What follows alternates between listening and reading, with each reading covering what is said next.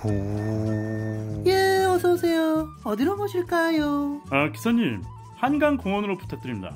에휴, 날도 좋고 한강에서 피크닉이라도 하시나 봐. 뭐 일단 친구들이랑 한강 공원에서 돗자리 펴고 술 마시기로 했다고 생각하기 때문에 흥민이, 정환이 형, 병주 형도 나온다는데요. 추석이라 한 10명은 모이겠다라고 생각합니다. 에? 아이, 추석이라도 그렇지 방역 수칙은 지켜야 되는 거 아니에요? 아, 기사님 말씀이 맞긴 한데요.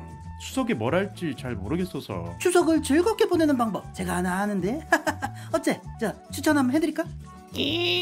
어, 아, 여기는 우리 집인데. 어이? 그 놀러 간다는 놈들이 왜 다시 들어온 게야? 아, 그 집에 노트북 있으시죠? 그 잠깐 쓸 수 있을까요?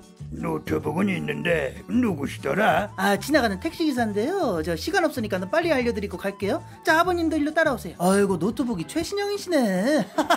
가만 보자. 포털 사이트에서 집콕 문화생활 추석 특별전을 검색하시면 어, 어, 여, 여기 있네, 여기 여기.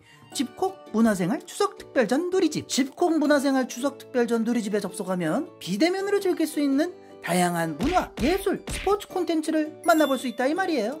아니 이건희 기증품전으로 교과서에 나오는 작품들을 학예사 해설과 함께 볼 수 있을 뿐만 아니라 내 집에서 나빌레라와 한바탕 마당놀이 같은 공연 영상 콘텐츠를 즐길 수 있다니 아버지, 뭐 일단 우리 애들도 좋아하는 어린이 콘텐츠와 온 가족이 함께 볼 수 있는 전통 민속 콘텐츠도 다양해서 연휴가 모자랄 지경이라고 생각하기 때문에 아이, 아이 그런데 이거 보려면 돈 내고 그래야 되는 거 아니야? 아유 무슨 말씀이세요? 102개의 콘텐츠가 9월 17일부터 26일까지 전부 무료라니까. 이야 아주 좋네요. 집콕 문화생활 추석 특별전. 그렇구만 집콕 문화생활 추석 특별전 무야호 무야호! 아우!